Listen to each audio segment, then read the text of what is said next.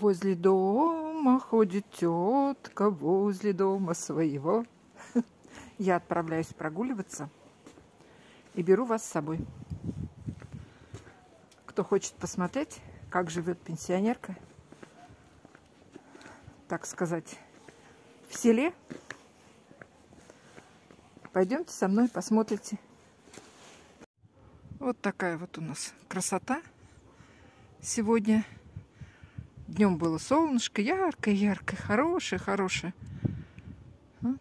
Снега у нас, как видите, совершенно нет. Практически.